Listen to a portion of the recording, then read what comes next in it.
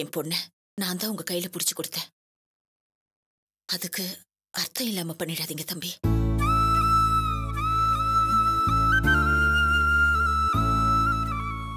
வார்த்தைக்கு வார்த்தை உங்க அப்பா நான் சுந்தரி அம்மா பொண்ணதா கூட்டிட்டு வந்திருக்கேன்னு சொல்வாரு. என் பொண்ண வேண்டான்னு சொல்ல உங்களுக்கு எப்படி தம்பி வாய் வந்துச்சு?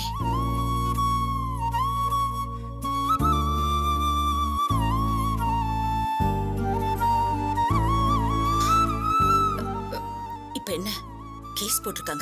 அவ்வளவுதானே? விடுங்க. லக்ஷ்மி மான எனக்கு தெரிஞ்சவங்க ஒருத்தங்க இருக்காங்க. அவங்க கோர்ட்ல வேலை செஞ்சுட்டு இருந்தவங்க. அந்த அம்மா கிட்ட கேட்டா நிச்சயமா ஒரு நல்ல வழி சொல்லுவாங்க.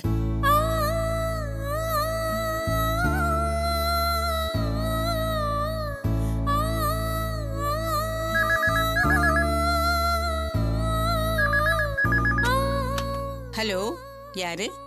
அம்மா நான் சுந்தரி பேசுறேன். ஆ சொல்லு சுந்தரி.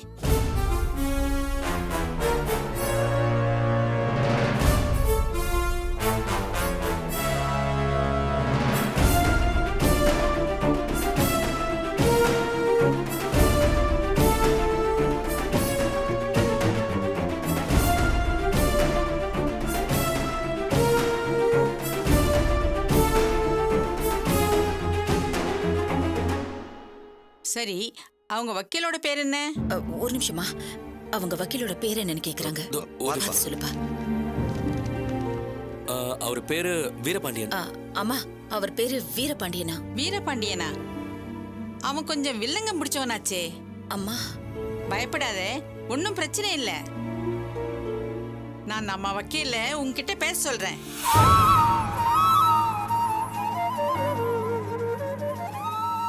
ஒரு விஷயம் தெரிஞ்சுக்கோ. கேஸ் கோர்ட்டுக்கு போச்சுன்னா சிக்கல் தான் நான் நம்ம வக்கீல் கிட்ட எல்லாம் விவரமா சொல்றேன். அவன் உங்களை அந்த வக்கீல் கிட்ட கூட்டிட்டு போய் காம்ப்ரமைஸ் பண்ணி வைப்பான். சரிங்கம்மா. இத பாரு. வரதட்சணை கேஸுங்கிறதுனால ஜாமீன் கூட கிடைக்காது. இதனால நிறைய ப்ராப்ளம்ஸ் கூட வரும். நம்ம வக்கீல் எல்லாத்தையும் இங்கேயே பேசி சுமூகமா முடிச்சு கொடுத்துருவான். சரிங்கம்மா. பயப்படாம தைரியமா இரு. என்ன? வச்சுட்டுமா? சரிங்கம்மா.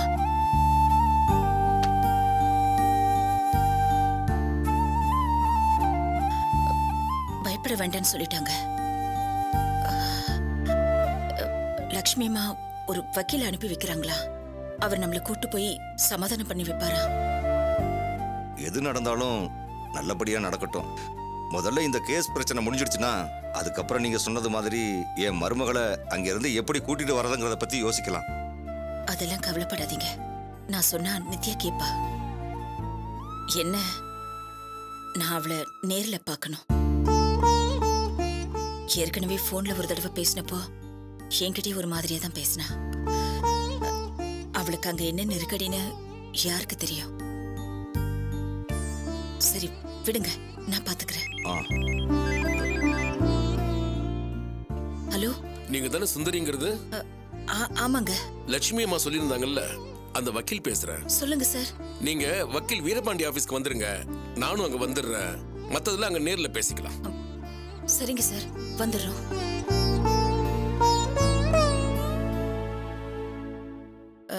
லக்ஷ்மி அம்மா சொன்ன வக்கீல் நம்மள வீரபாண்டி ஆபீஸ்க்கு வர சொல்றாரு. தம்பி போலாமா? ஆ போலாமா? இன்னொரு தடவை. என் பொண்ணை வேணாங்கிற மாதிரி சொல்லிடாதீங்க. சாரிங்கம்மா நல்லா யோசிச்சு பாருங்க. கொஞ்ச நாள் முன்னாடி வரைக்கும் உங்களுக்கு ஒரு கஷ்டம்னா நான் வருவேன். எனக்கு ஒரு கஷ்டம்னா நீங்க வருவீங்கன்னு யாராவது சொல்லியிருந்தா நாம நம்பி இருப்போமா அந்த மாதிரி தான்ப்பா இப்போ உங்களுக்குள்ள நடந்துட்டு இருக்க பிரச்சனையும் எனக்கு நம்பிக்கை இருக்குப்பா. நீங்க ரெண்டு பேரும் நல்லா இருப்பீங்க. வாங்க போலாம். சரி அதை எடுத்துக்கோ. போலாம்.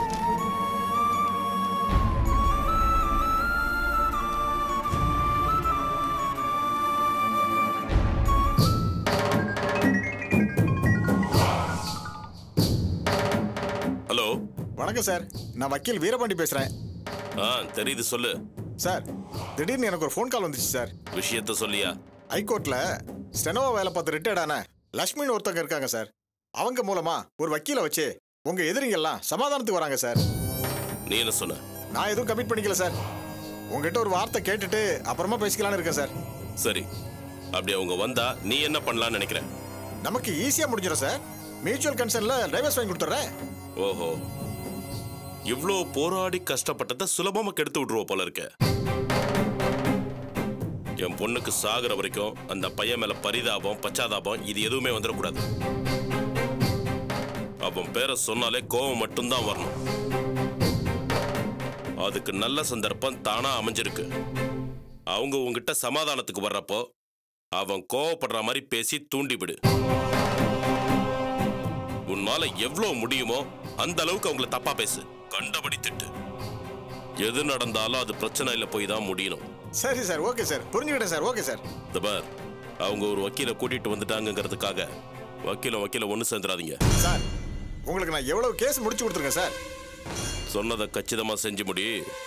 உன்னை நான் நல்லபடியா கவனிக்கிறேன். ஓகே சார் கண்டிப்பா பண்ணிடுறேன் சார். ஓகே சார் வச்சிடறேன் சார்.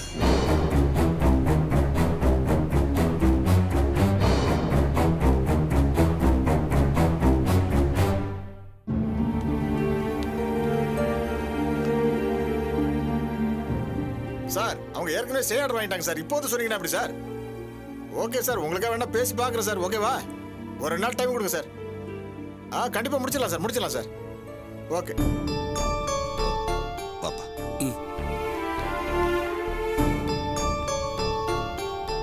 வணக்கம் சார். வணக்கம் சொல்லுங்க. என் பேர் கலிதீர் தான். இது என்னோட பையன் பாபு. ஓ நித்யா கேஸ் விஷயமாவா? இப்பதான் வக்கீல் ஆரம்பம் ஃபோன் பண்ணாரு. சார் எதுக்கு சார் தேவையில்லாம சண்டை போட்டுக்கிட்டு? பிடிக்கலன்னா பேசாம விலகி போயிட வேண்டியதானே என்ன சார்? இப்படி பேசுறீங்க? இப்பதான் புதுசா கல்யாணம் ஆன பிள்ளைங்க. நீங்க யாருமா பையனோட அம்மாவா? இல்ல இவங்க பேரு சுந்தரி நித்யாவோட பெரியம்மா. ஓ உங்க பேர்ல நோட்டீஸ் இருக்குல்ல? இத பாருங்கம்மா. நான் உங்களை பயமுறுத்துறேன்னு நினைக்காதீங்க. இன்னைக்கு நிலைமையில பொண்ணுங்களுக்கு தான் சட்டம் சாதகமா இருக்கு. அவங்க சொல்றதாம எடுபடும்.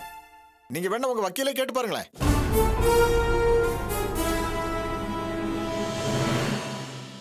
இப்ப நான் கொடுத்துருக்கிற கேஸுக்கு நீங்க நிறைய நாள் உள்ள இருக்க வேண்டியது வரும்.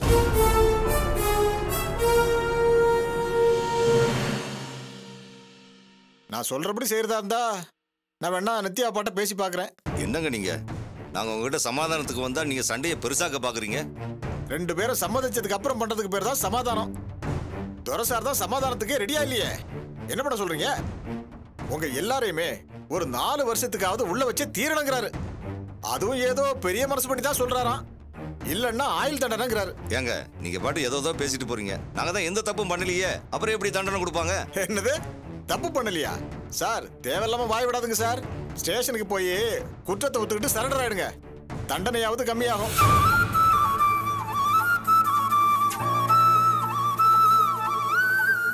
வரதட்சணை கேட்டு அந்த பொண்ணை கொடுமைப்படுத்திருக்கீங்க.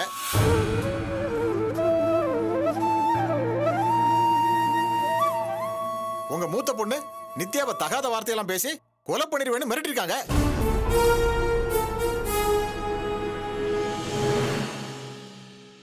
உங்க பையன் அந்த பொண்ணை பலமுறை தாக்கியிருக்காருங்க. ஐயா இது அநியாயங்க. அந்த மாதிரி எதுவுமே நடக்கல. நீங்க பேசாதீங்கம்மா சும்மா இருங்க. இருக்கிறதுலயே உங்க கேஸ் தான் ரொம்ப ஸ்ட்ராங்கா இருக்கு. உங்க பொண்ணுக்கு பணம் கொடுக்க சொல்லி துரசார இந்த பாபு போட்டு அடிச்சிருக்காரு. சார் இப்போ எதுக்கு அனாவசியமா பேசுறீங்க? எங்களை என்கொயரி பண்றதுக்கு நீங்க ஒன்றும் போலீஸும் இல்லை இது கோர்ட்டும் இல்லை. இப்போ எங்க வக்கீல் வந்துருவாரு. எது வந்தாலும் அவர்கிட்ட பேசுங்க. ஆஹா சட்டம் படிச்ச என்கிட்டயே இந்த அளவுக்கு பேசுற? அப்ப அந்த பொண்ணை என்ன பாடுபடுத்திருப்ப? திரும்பவும் நீங்க தேவையில்லாம பேசிட்டு இருக்கீங்க என்னப்பா நீ? என் ஆபீஸ் வந்து என்னைய ஏத்து பேசிட்டு இருக்க?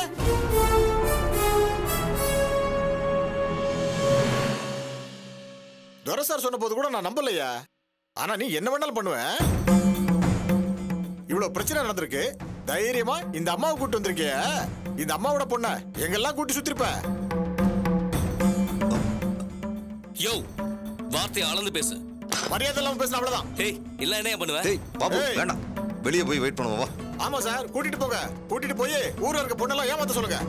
என்னையா மறுங்கிற? ஆ? இந்த அம்மா முன்னாடி சீன் போட்டு உன் வீரத்தை காட்டலான்னு பாக்குறியா? சரியான ஆளாயா நீ. பொண்ணை வச்சு அம்மாவே.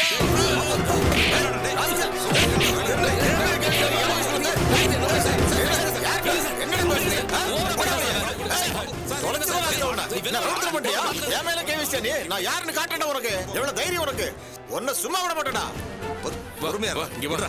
விடுறா தம்பி? லக்ஷ்மி அம்மா ஃபோன் பண்ணி இவர் பேரை சொன்னதுமே நினைச்சேன். என்ன தம்பி இப்படி பண்ணிட்டீங்களே? ஒரு வக்கீல கை நீட்டி அடிக்கலாமா நீங்க? நான் பண்ண தப்புனா எனக்கு எந்த தண்டனை வேணாலும் கொடுங்க. இவன் என்ன வார்த்தை பேசுறான் தெரியுமா சார்? ஏற்கனவே அந்த ஆள் ஒரு மாதிரி. இதுல இதெல்லாம் வேற நடந்துச்சுன்னா கேட்கவே வேணாம். சார் முதல்ல உங்க பையனை கூட்டிட்டு போங்க சார். மத்ததெல்லாம் அப்புறம் பேசிக்கலாம். கூட்டிட்டு போங்க சார். போப்பா.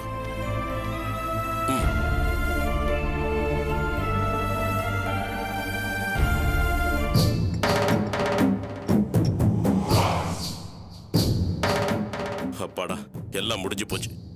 இனிமே நாம் எதுக்கும் கவலைப்பட வேண்டியதில்லை. பாத்தியா அந்த பைய பண்ண காரியத்தை? என்ன அப்படி பாக்குற? அந்த பாபு பைய வக்கீல போட்டு அடிச்சிருக்கான். அவன் சும்மா விடுவானா? அவனை தூக்கி உள்ள வைக்காம விட மாட்டான்? நம்ம கேஸ்க்கு இது ரொம்ப ஸ்ட்ராங்கா இருக்கும். கேஸ் போட்ட வக்கீலையே அடிக்கிறான்னா அப்ப நம்ம பொண்ண என்ன பண்ணிருப்பான் நாம கேட்கலாம்ல? யோசிக்கவே மாட்டாங்க. அவனுக்கு இப்பவே தண்டனை கிடைச்ச மாதிரி தான் ஆ நித்யா நித்யா இங்க வாமா என்னம்மா இது அநியாயமா இருக்கு? மகா மட்டமானவனா இருக்கா? அந்த பாபுதான் நமக்காக கேஸ் கொடுத்த வக்கீல வீடு புந்து அடிச்சிருக்காமா? காட்டான் ஆயிட்டான்னு நினைக்கிறேன். புதுசா என்ன ஆகுறது? அவன் ஏற்கனவே அப்படிதான் இருந்திருக்கான். நம்ம பொண்ணை நடிச்சு இல்லாம ஏமாத்திருக்கான். எப்படியோ அந்த கொலகார குடும்பத்துல இருந்து நம்ம பொண்ணு தப்பிச்சிட்டால ஆ நித்யா நீ எதையும் மனசுல போட்டு குழப்பிக்காத. யார் விட்டாலும் அந்த வக்கீல் சும்மா விட மாட்டாமா? கொலை பண்ண வந்தான்னு சொல்லி கேஸை போட்டு ஆறு ஏழு வருஷம் அவனை ஜெயிலுக்குள்ள வச்சிருவான். ஏங்க இவனை எல்லாம் தூக்குல கூட போடலாங்க. வக்கீல் அடிச்சது விடுங்க. என் பொண்ணு மனசை கொன்னுட்டானே. அதுக்கு என்ன தண்டனை கொடுக்கறது? அதெல்லாம் ஆண்டவன் பார்த்துப்பான். இவ்வளவு இப்பதான் எல்லாத்தையும் மறந்துட்டு இருக்கா நீ வேற ஞாபகப்படுத்திட்டு இருக்க நித்யா நீ போய் நல்லா ரெஸ்ட் எடுமா. இனிமே உனக்கு எல்லாம் நல்லதாவே நடக்கும். அது கடையாளமா தான் இதெல்லாம் நடக்குது. போமா போ. போமா போய் ரெஸ்ட் எடு.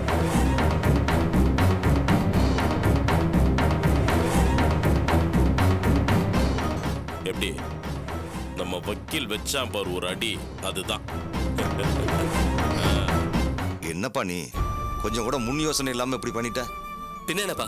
அவன் அப்படி ஒரு வார்த்தை சொன்னதுக்கு அப்புறம் பார்த்துட்டு சும்மா இருக்க முடியும். எதுலயும் ஒரு நிதானம் வேண்டாமாப்பா. ஒரு விஷயத்தை எதுக்குறா இருந்தா தீவிரமா எதுக்குற? வேணும்னா அதே மாதிரி அடம் பிடிக்கிற?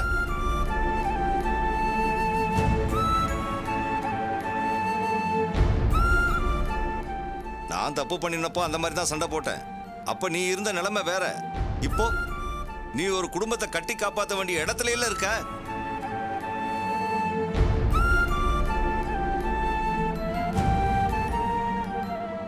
இப்ப சண்டை போட்டு போலீஸ் கேஸ்னு அங்கே போய் நின்னா நல்லாவா இருக்கும்?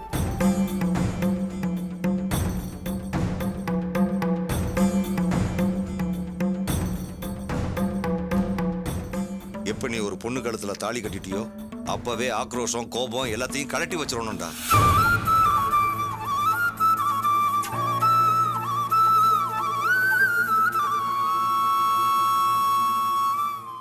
தெருவுலயே டீ கடையிலே நின்று சண்டை போட்டாலே அதை பெரிய கேஸ் ஆக்கிடுவானுங்க வக்கீல கை நீட்டி அடிச்சிருக்க. அவன் என்னென்னலாம் பண்ண போறான்னு தெரியலையே. என்ன வேணாலும் பண்ணட்டுப்பா இதுக்கு மேல நான் எங்க வேணாலும் போறதுக்கு ரெடியா தான் இருக்கேன். புரியாம பேசாதப்பா. இது நாம மட்டும் சம்மந்தப்பட்ட விஷயம் இல்ல. நமக்காக லட்சுமி அம்மாட்ட பேசி சமாதானம் பேசுறதுக்காக அவங்க வக்கீல் வரைக்கும் போயிருக்காங்க. நாளைக்கு அவங்களுக்கு அது கெட்ட பேர் தானே?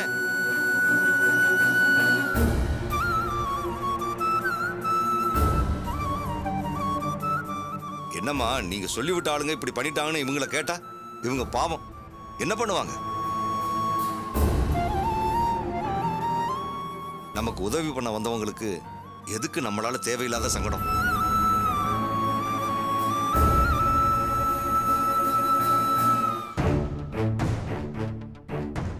ரொம்ப சாரிமா உங்களை பத்தி அப்படி ஒரு வார்த்தை சொன்ன உடனே என்னால தாங்கிக்க முடியல. அதான் கோவப்பட்டேன். ஆனா அதுவே உங்களுக்கு பிரச்சனையாகுன்றதை யோசிக்காம விட்டேன். தயவு செஞ்சு என்ன மன்னிச்சிருங்கம்மா. இதுல மன்னிக்கிறதுக்கு என்ன தம்பி இருக்கு? எல்லாருமே இந்த பிரச்சனையில என்ன தலையிட வேண்டாம்னு சொன்னாங்க.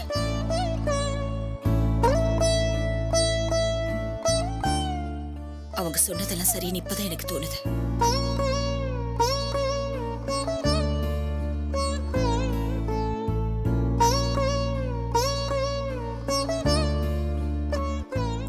கஷ்டப்படுத்துறதுக்கோ இல்ல வேற எதுக்காகவும் நான் இதை சொல்லல. இந்த வயசுல இந்த மாதிரி வார்த்தையெல்லாம் நான் கேட்க கூடாது தம்பி.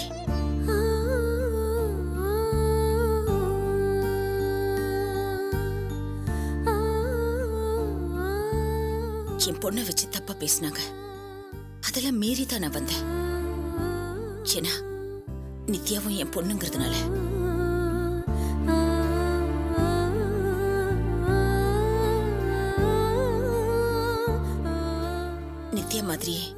எனக்கு இன்னொரு பொண்ணு இருக்கா? அவளுக்கு கல்யாணம் காய்ச்சினே பண்ண வேண்டாமா?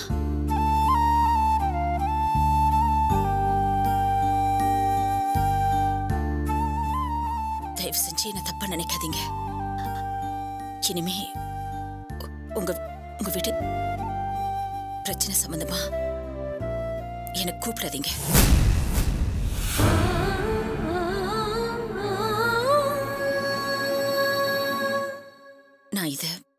வருத்தத்தோட தான் சொல்றேன். ஐயோ என்னங்க நீங்க வேற. வக்கீல் ஆபீஸ்ல இப்படி ஒன்று நடந்த உடனே நானே இதை பத்தி யோசிச்சேன். எப்பவுமே நாங்க உங்களுக்கு சிரமம் கொடுக்குறவங்களா தான் இருந்திருக்கோம். இதுக்கு மேலேயும் நாங்க உங்களுக்கு தொந்தரவு கொடுக்க கூடாதுன்னு தான் நினைச்சேன். எங்களால நீங்க பட்ட கஷ்டம்லாம் போதுங்க. இதுக்கு மேலேயும் நீங்க இதுல வந்து நிக்க வேண்டாம்.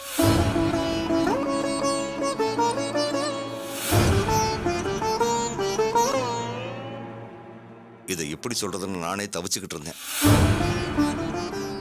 எங்க மேல விழுந்த பாரத்தை நாங்க தானே சுமக்கணும்.